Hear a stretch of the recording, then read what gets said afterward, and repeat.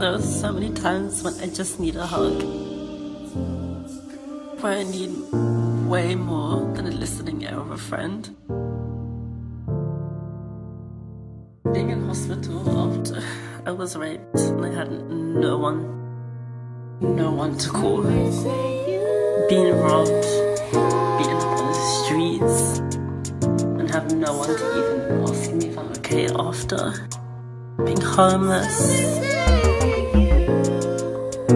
diagnosed with HIV.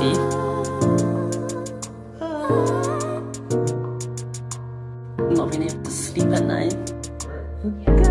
Can't sleep at night.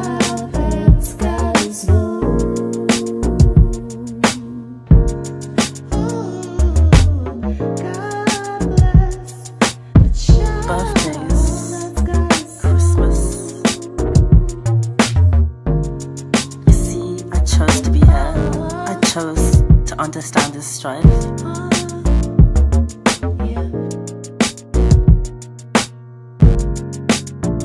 And there's so much beauty in that. There's so much beauty in that. You see, it's not who we are, what we are, but it's the journey. And for me, it's always been about the journey.